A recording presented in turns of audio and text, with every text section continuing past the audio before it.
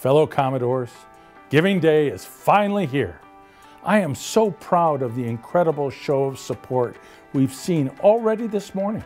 Thank you to everyone who chose to begin your day by giving for the gold. For those of you who have not yet made your gift, there is still time.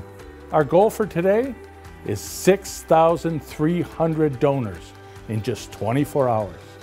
But I have no doubt that our bold dreams will yield big results. Together, we can set a new Vanderbilt record for the number of gifts in one day and secure up to $1 million in challenge gifts. Please join me and give for the gold before midnight tonight to secure this gift.